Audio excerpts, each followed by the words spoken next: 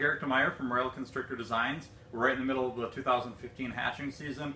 Got so many cool things coming out. I wish I could show all of them, but uh, I just wanted to hit a few highlights that I have here uh, from this hatching season, whatever hatched this week anyway.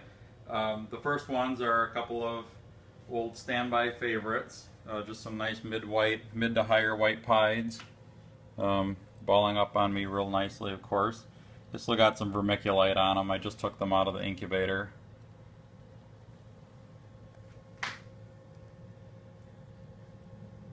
These are both females and they're going to be holdbacks. I still want to grow up my pied collection a bit more than what I have it right now.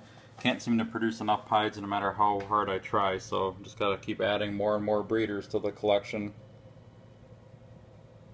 These mid-whites are probably the most popular. Like the looks of this one right here, I think overall is what most people gravitate towards the most. Um, this one's really nice too. This one's got awesome orange colors in it. But um, I'll put these into various projects, coral glower, banana, um, probably firefly, uh, yellow belly, you know, I'll add a bunch of other genes to these to make some more interesting color combinations. So anyway, I just wanted to show those pieds. Let's see. The next clutch is a clutch I've been working on for a long time. I can't believe it's taken me this long, but it's the uh, Banana Genetic Stripe. And what I did is I took a Banana Het Genetic Stripe and I bred it to a Cinnamon Genetic Stripe. Unfortunately, we did not hit the Cinnamon Banana Genetic Stripe, so I've got a couple more clutches incubating, and I might even get another clutch or two this year. So all hope isn't lost with that yet. I think the Cinnamon Banana Stripe should be mostly an all purple snake. But here's a nice little male regular banana genetic stripe. I really think the banana and stripe mix very, very well together. So that's the banana genetic stripe. And then we have a cinnamon here too. Cinnamon genetic stripe, that is. They almost look like a super cinnamon. They have a little bit of, you know, the striping that you can see, but they're pretty pretty solid, dark, kind of a chocolate brown looking snake.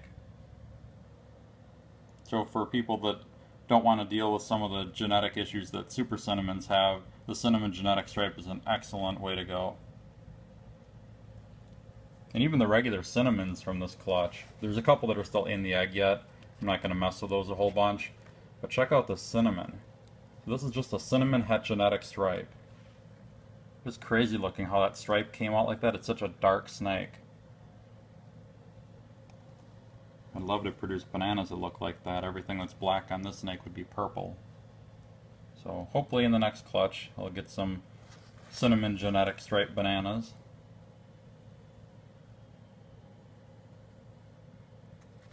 Really cool snakes. Okay. The next one I did a pastel calico at a killer bee breeding. And uh, I'm not 100% sure what I have here exactly, um, but some really nice looking killer bees. Not sure if there's calico in some of these or not. Know, this is a, if this is a calico, it's a very low white expression of it. I'm thinking it probably is not a calico, but I don't know, because this is a more typical killer bee. This one's got a really white head and just a little bit lighter colors, a little bit more blushing in the dark pattern.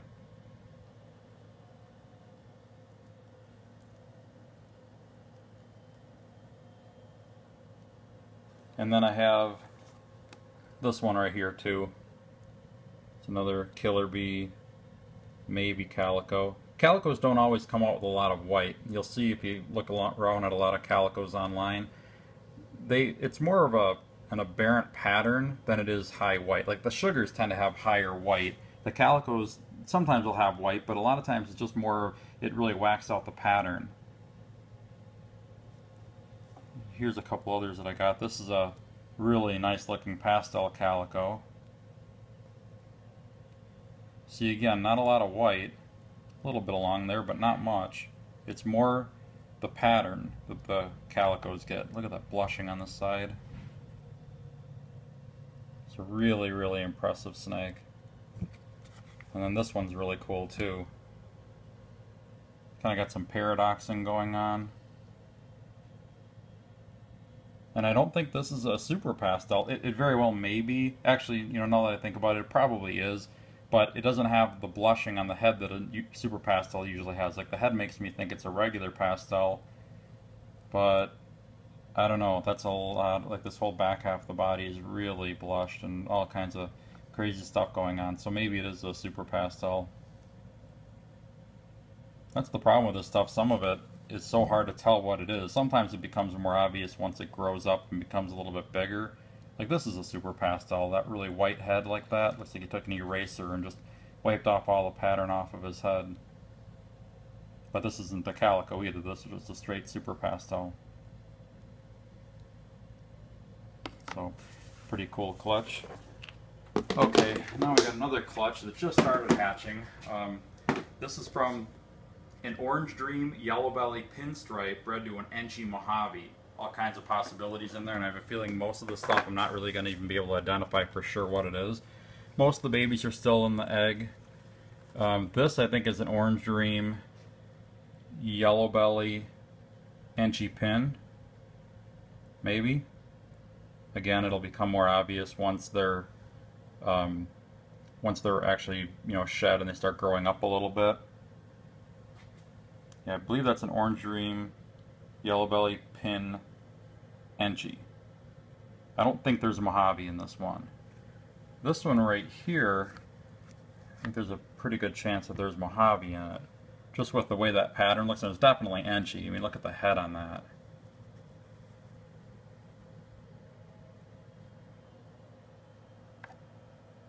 The colors on it are just going to explode once this thing sheds and starts growing a little bit. Orange Dream is just such an awesome morph, especially if you combine it into the right babies or the right combos. It's just incredible. Okay, so I'll check back with that clutch in a couple of days when the rest of them hatch out. Now, onto some clown stuff. Okay, the first one I wanted to show, these are already in shed, but this is from a, an orange or what is this? Uh, orange dream. Got orange dream on the brain. Butterbee het clown to pastel het clown. And unfortunately, when you do het-to-het breedings, you don't end up with very many of the visual recessives. There's not much for clown in here. But here's a nice Butterbee possible het clown. These have been hatched out for a few days now too, so they're starting to go through their their initial shed. Here's another Butterbee possible het clown. I had to put money on which one's the het, I'd say this one would be because just a little bit brighter colors. And with the clown stuff, sometimes you can just tell by looking at it, just a, a certain look the het clowns have, where you can just tell that they're not just normals. That's a pastel butter possible het clown. And we got a bumblebee possible het clown, spider possible het clown, and then here's a spider clown. This is a female. I know I already checked her a few days ago when she first hatched out. These grow up to be really impressive looking snakes. I hatched one of them out in 2013 and she's awesome looking. She's probably about 1500 grams now. She'll breed this fall. She's really, really nice looking. So even though these aren't the most impressive when they first hatch, they grow up to be really, really pretty snakes. Okay, that's a spider clown.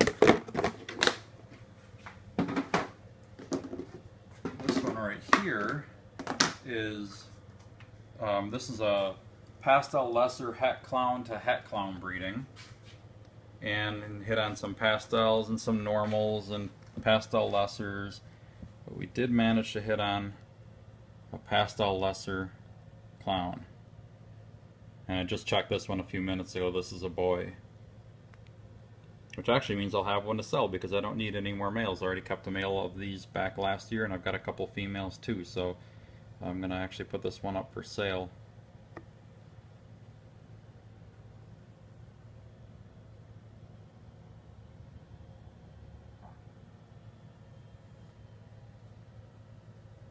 So that's the Pastel Lesser Clown.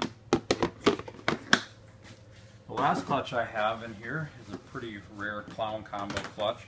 This is from a Lemon Blast Het Clown bred to a Mojave Het Clown. So a lot of different clown possibilities in here and we hit on some pretty nice ones. Uh, here's just a nice clown male. Kind of busier pattern but really nice contrast.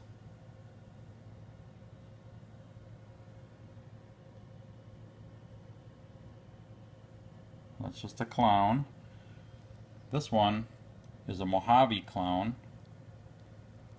This is a little bit different than the one, I hatched out one in uh, 2014 and it looks a little bit different. Um, this one's got really, really heavy blushing, like almost white on the sides of his body. Or her body, I guess this is a female. It's really nice colors. Okay, and then this is a jigsaw clown. So it's a Mojave pinstripe clown.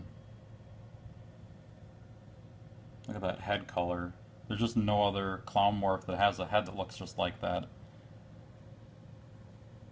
And this probably won't be the brightest, most spectacular looking snake on its own, but genetically it's so powerful. You can get both Mojave clowns and pinstripe clown combos all from this one snake.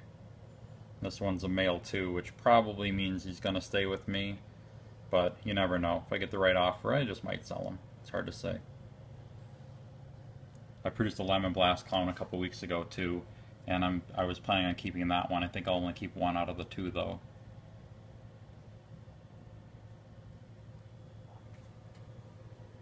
Okay, so that's uh, that's some of this week's hatchings. The babies, we had a really, really good week. Just we've got more clutches in this hatching. A lot of more common stuff like queen bees and stuff like that are hatching up too. So uh, if you want to see what I actually have for sale, take a look at the website royalconstrictordesigns.com. I'm trying to get new stuff posted there on a regular basis. Um, you know, every week or two weeks I try to put up 30 or 40 new snakes, but it's just hard because I'm taking care of all these babies and eggs and just trying to get through you know, getting everything fed and watered properly, so it's hard for me to always get them up for sale uh, real quickly. Um, I do have a master list on my website of everything that I currently have available, even if it's not on the website, and then most of the stuff that I have for sale is actually on the site with individual photos. So check it out. Uh, let me know if there's anything that you're looking for. And also check out our Facebook page. Uh, just uh, do a search for RoyalConstrictorDesigns.com. I'm on Facebook. I'm always posting new pictures and stuff on there. So uh, definitely check it out, and I will be making more videos uh, pretty quickly.